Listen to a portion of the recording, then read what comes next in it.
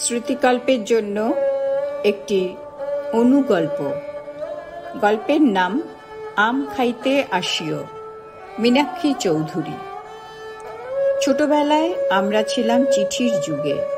Phone খুব বড়লোকের বাড়িতে থাকত। আমরা পোস্টকার্ড, ইনল্যান্ড, খাম এসব মজুত রাখতাম সারা বছর। দাদু, ঠাকুমা, পিসিরা, মাসিরা, মামারা কেউই খুব কাছে থাকতেন না। বছর ব্যাপী চলত চিঠি লেখা। পুজো, নববর্ষ, বিজয়া আর পরীক্ষার পাশের খবর দেওয়াটা বাধ্যতা ও ভদ্রতার মধ্যেই পড়ত। ঠাকুমা থাকতেন দেশের বাড়ি বর্ধমান জেলার পাটুলিতে।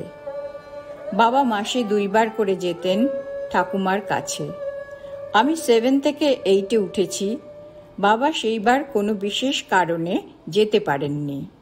আমি যথারীতি ঠাকুমাকে পাশের খবর দিয়েছি পোস্টকার্ডে। সেই পোস্টকার্ড মিসিং হয়েছে। বাবার হাজিরা নেই, আমার চিঠি নেই, চিন্তিত ঠাকুমার চিঠি পেলাম কিছুদিন পর।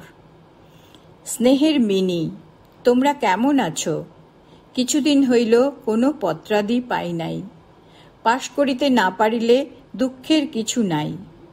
তুমি বাবা, মা, ভাইকে লইয়া আম খাইতে আসিও।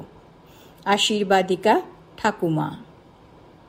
তারপর তো দেশের বাড়ি গিয়ে ঠাকুমার ওপর রাগ দেখানো। তুমি আমায় এরকম ভাবো? আমি পাশ করতে পারব না? ঠাকুমার কত আদর আমাকে। বুঝোস না তো কত চিন্তা হয়। সেই বছরেই ঠাকুমার নিজের হাতে বোনা ল্যাংড়া আম গাছে প্রথম ফল এসেছিল। পাঠে সুপ্রিয়া মজুমদার।